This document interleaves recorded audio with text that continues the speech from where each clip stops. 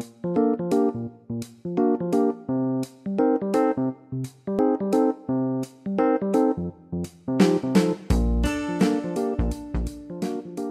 นสมัยที่บ้านเราใช้เกวียนใช้ล้อในการขนสิ่งของต่างๆ เด็กก็ประหลาดใจแปลกใจนะครับอันนี้ผู้ใหญ่ก็เลยประดิษฐ์ล้อที่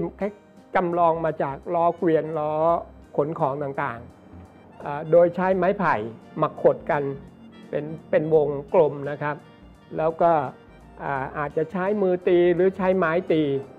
ประโยชน์ที่เด็กจะได้จากการเล่นวงล้อกลมเนี่ยก็คือเรื่องของการบังคับกล้ามเนื้อให้ตีไม้เลี้ยงวงล้อให้ไปตามทิศทางที่ตัวเองต้องการ ถ้ามีการแข่งขันกับเพื่อนๆว่าใครถึงจุดหมายก่อน ก็เด็กจะได้เรื่องของรู้แพ้รู้ชนะมีน้ำใจเป็นนักกีฬา วิธีเล่นตีวงล้อนะครับ หรือว่าวงล้อกลมเนี่ยก็มือข้างหนึ่งเราก็จับวงล้อนะครับ มือข้างหนึ่งเราก็ถือไม้สำหรับตีวงล้อให้ไป